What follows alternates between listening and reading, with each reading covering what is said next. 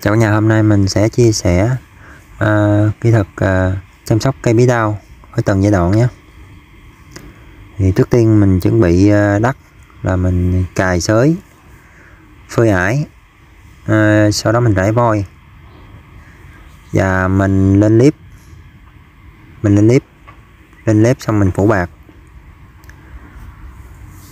Rồi mình sẽ chuẩn bị hạt giống, mình uh, ngâm rồi mình ủ lại sau khi hạt giống nảy mầm rồi mình sẽ bầu vô dĩ ôm vô dĩ á. Là ôm vô dĩ được khoảng ờ, uh, 10 ngày. Uh, có lá nhám rồi bắt đầu mình bứng ra mình trồng. Ở tháng mưa thì ờ, tháng mưa mình có thể trồng khoảng 6 đến 7 tắc cây cách cây á. Còn tháng nắng thì mình trồng khoảng cây cách cây khoảng 5 tắc là được rồi. Trong giai đoạn này mình cũng phải xịt uh, ngừa thuốc chống úng ở cây con nó có nó có thể bị úng gốc. Thối gốc mình xịt ngừa một cử. Còn mình thấy cây mà nó bị úng ờ, nhiều thì mình phải xịt uh, cách nhau hai ngày thêm một cử nữa.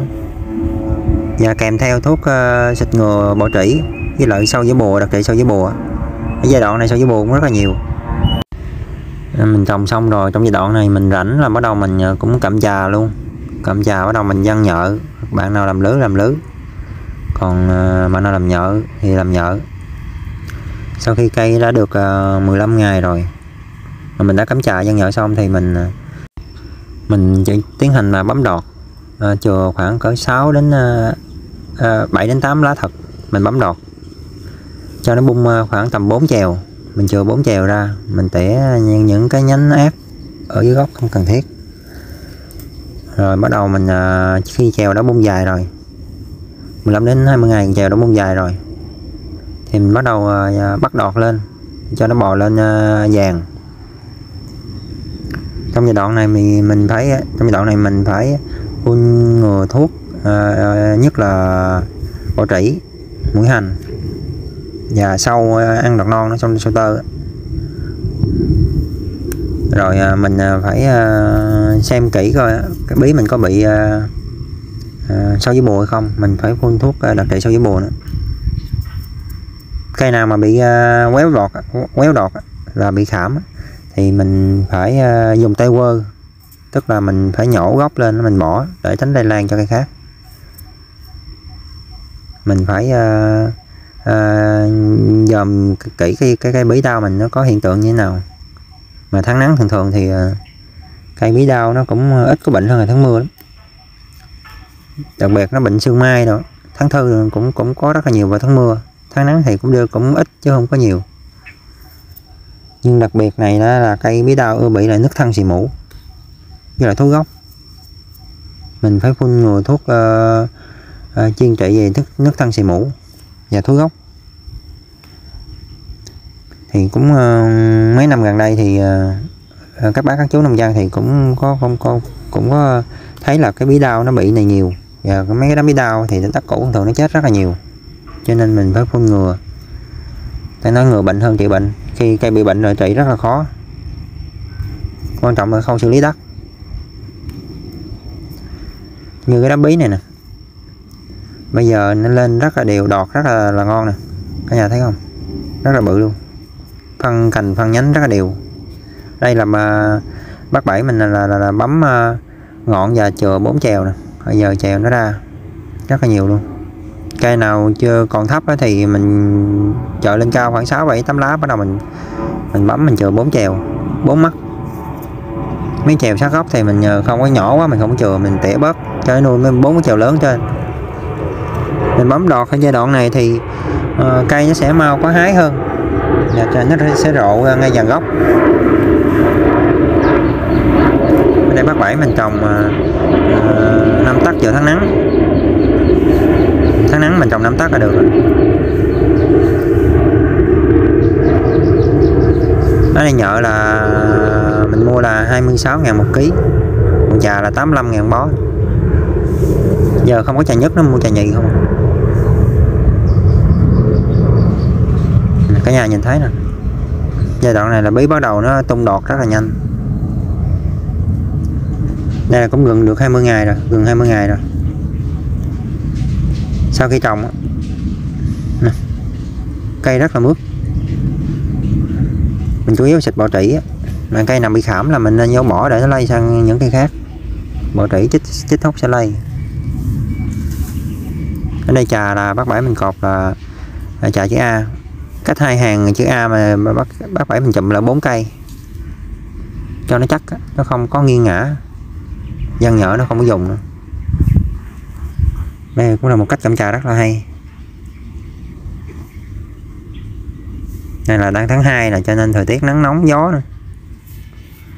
mình tưới nước đầy đủ.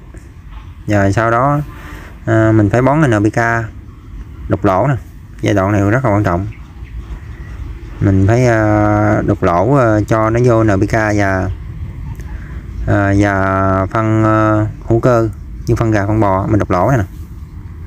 Đục lỗ giữa ờ, hai hai dây á, giữa hai góc á. cách nhau khoảng cách ờ, góc cách ra khoảng cỡ 10 cm mình bỏ NPK vào 20 20 15 sau khi cây đã được 15 ngày là mình bỏ NPK và, và phân gà phân bò cũng được bỏ vô lỗ. Và mình tới nước cho ăn. Giai đoạn này nè. Rồi bây giờ giai đoạn là cây đã được ờ, uh, 35 ngày.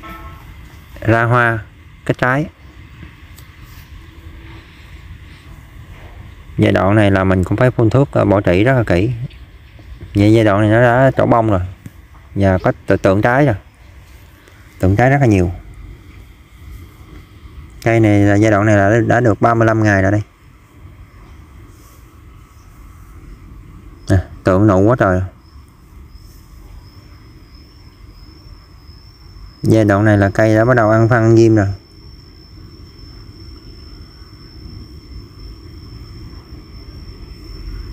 Sau khi có hái là mình mới vô ờ, rải phân ờ, NPK bên ngoài. Bên ngoài cái đường đi ở trong rỗng ra và phân hữu cơ như phân gà, phân bò hay một rải hoài, tại rễ ra tới hoài rồi. Mình cho ăn hoài được rồi. Để bác bãi mình phun cỏ ờ, cũng phun cỏ cho, cỏ rộp xuống đường chuẩn bị rải phân nè. Cỏ chuẩn bị rải phân. Cho ăn đợt hai nè. Chừng nào mình có hái rồi mình mới, mình mới rải phân được mình rải sớm quá sẽ bị dập nụ hết. Lo đi dây không sẽ dập nụ. Giờ để cho tụ mình là bắt đầu mình mới rải phân rồi có hái bắt đầu mình mới rải phân NPK với lại ờ, nụ cỡ này là là, là, là, là mình phan rải chừng nào mình có hái cái đã. Rồi mình rải NPK với lại ờ, phân hữu cơ. Như phân bò phân bò sữa cũng được phân trâu cũng được. Này có những mấy cái chỗ tốt phải lên đường tới rống nè tại vì bí này còn xanh lắm.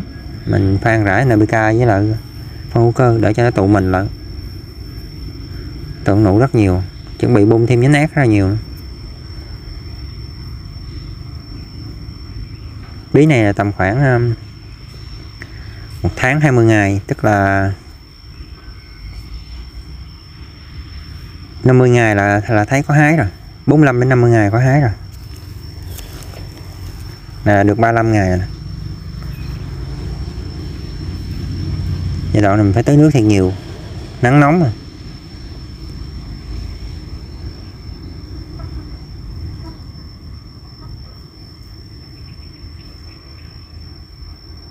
Đó bác, bác bảy gái mình đó. Mới đi ngang qua đó. Nên cả nhà nhìn thấy nè. 35 ngày là lên tới uh, gần tới rống à. Tượng nụ rất là nhiều rồi. bí rất là đều luôn.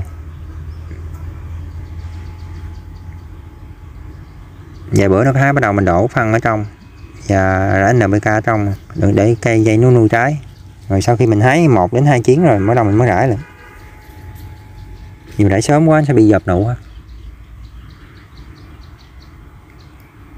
giai đoạn này cũng rất là quan trọng mình phải phun ngừa bọ trĩ. Với lại uh, mình phải uh, xịt rùi, rùi vàng hoặc làm treo nữa. Giai đoạn này có nụ là mình không treo rùi vàng nó chích nó thúi hết.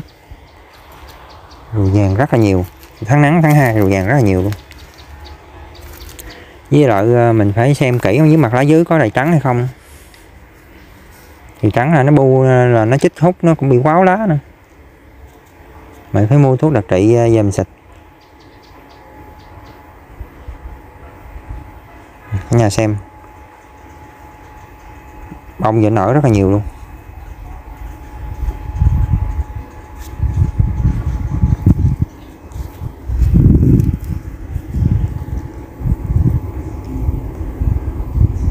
Quá trời nụ luôn. Nè nụ nụ bự bằng tay cái rồi nè. Là thấy cỡ ờ, khoảng tuần nữa là thấy có hái rồi. Tuần 10 bữa nó có hái rồi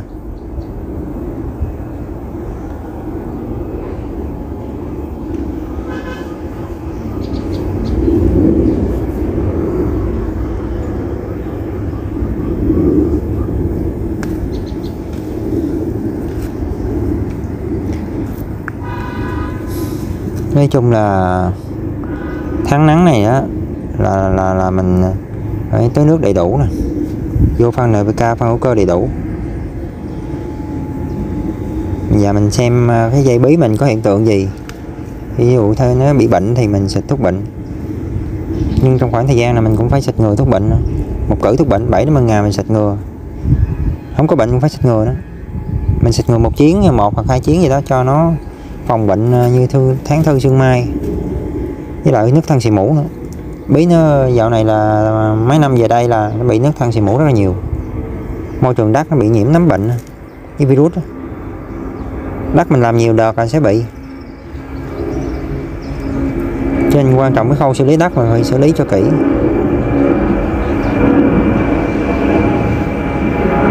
Dàn bí đều trưng luôn cả nhà xem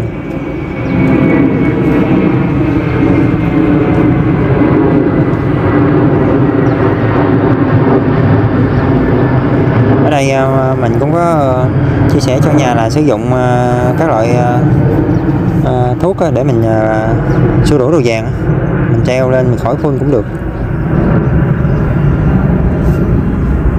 Mấy năm gần đây là đồ vàng nó sinh sôi nảy nở rất là nhiều. Nó chích cái là thối nụ cái nụ nào mà không thối, nó lớn lên cũng có cái eo. Đồ vàng là loại loài động vật có hại.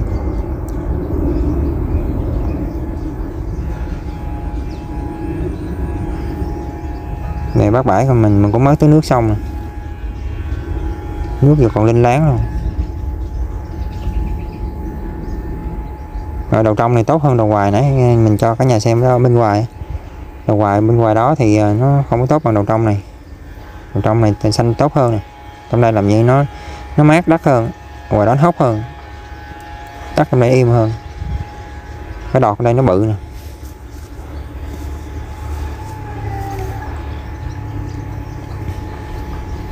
Bí xanh mướt luôn. À, thấy dàn bí đã không? Nãy bung tược quá trời nè. Bung nhá nát giờ bữa nó là bung là bắt lên dày cui luôn tại mình bấm đọt cho nên nó sẽ rộ hiệp gốc rất là nhiều.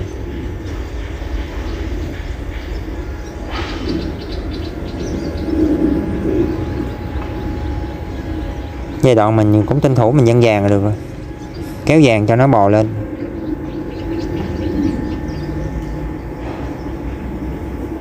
Không có sâu bệnh thì ờ, cứ 7 đến 10 ngày là cả nhà mình phun ngừa.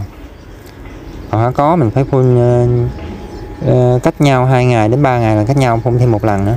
Hai cử liên tục cách nhau 2 đến 3 ngày.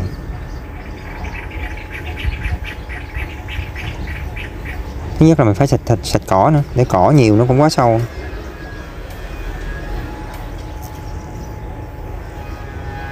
Dàn bí rất là tốt luôn. Dàn đọt điều trưng cả nhà thấy không? Quý này mới chịu rộ hái rất là nhiều luôn.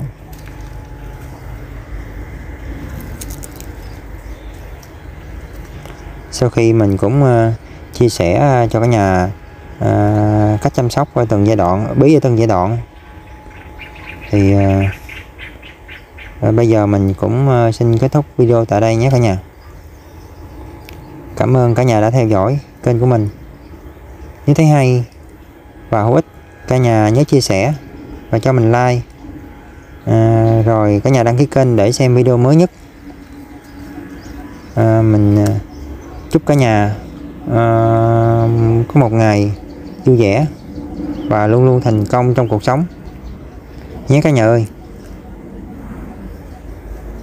Hẹn gặp lại cả nhà nhé.